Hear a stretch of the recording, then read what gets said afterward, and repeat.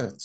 Bu aşamada da artık projenin değerlemesini yapacağız arkadaşlar. Projenin değerlemesi aslında tam olarak şudur. İndirgenmiş nakit giriş ve çıkışların bugünkü değerlerinin toplamıdır. Zaten gerekli bütün işlemleri yaptık. Dediğim gibi e, sık sık belirttiğim bir ifade vardı. Her zaman koordineli gitmek gerekiyor.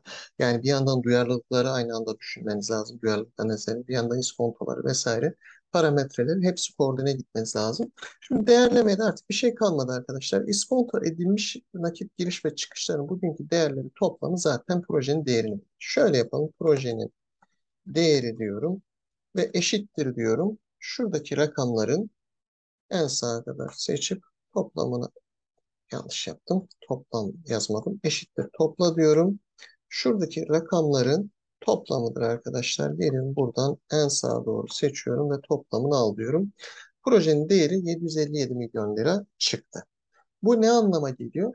Bu proje gerekli nakit giriş ve çıkışlarını yaptıktan sonra net de bana bunu bırakıyor. Yani daha doğrusu net bıraktığı rakamların bugünkü değerinin toplamı bu rakamdır. Peki bütün bunları yaptıktan sonra artık projenin değerini biliyoruz. Nette bunun pozitif veya negatif olması önemli. Eğer bu pozitifse tamam bu işe girilir. Negatifse girilmez. Peki iç verim oranı ne bulmuştuk arkadaşlar? Hatırlarsanız bunun iç verim oranında %33 bulunmuştu. Bu da gösterge faizin üstünde mi değil mi ona bakmak gerekiyor. Aslında gösterge faiz artı 5 puan. Ya da şöyle diyebilirsiniz arkadaşlar. %1.86 iskonto katsayısından daha yüksek mi aylık iş verim oranı? Ona bakacaksınız veya bunun yıllığı neydi arkadaşlar? İskonto katsayısının yıllığı %24'tü. İş verim oranı %24'ü geçiyor mu geçmiyor mu? Buna bakacaksınız. Eğer geçiyorsa bu projeye girilir diyeceksiniz. Gelip bu, bütün bu sonuçları şuraya taşımanız lazım arkadaşlar. Yapacağım şey şu. Bunları seçiyorum. Kesip kesiyorum kopyala yapıştır diye. İsterseniz kopyala yapıştır da yapabiliriz. Diyelim ki kopyaladık. Geldik. Özet sayfasına yapıştırdık. Direkt yapıştırırsanız tasarımıyla verir ama formüller çalışmaz. Yapmanız gereken linkle yapıştırmak. Tamam. Şunları biraz da kare içerisine alırız.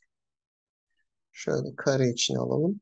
Benzer şekilde şu kısmı da e, ikinci etapla ilgili şunları da kopyalayıp geliyorum özet kısmına yapıştırıyorum. Bir de linkli olarak yapıştırıyorum. Şu kısmı silebilirsiniz.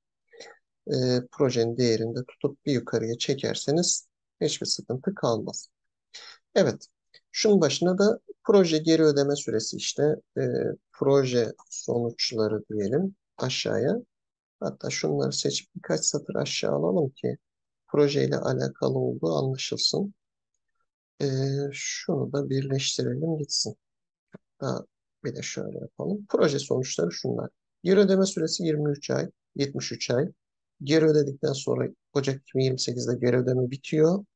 Nakit akışları. Fakat iskonto ettirirsek bu rakamı gerçek, reel anlamda 132 ayda ödüyor. Aralık 2032'de gerçek anlamda ödemiş oluyor. Projenin değeri ise 757 milyon lira ediyor arkadaşlar.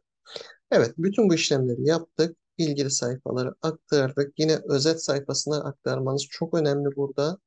Ve şöyle yöneticilere sunduğunuz zaman bunu diyeceksiniz ki siz bu projeye girerseniz projenin gerçek bugünkü değeri 757 milyon lira. Nette bana bırakacağı rakam bu.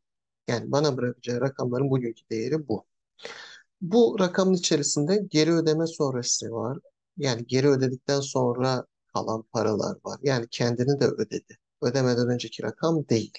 Buna dikkat edin. Nette bıraktığı rakam olduğu için projenin değeri bu oluyor arkadaşlar. Evet, izlediğiniz için teşekkürler.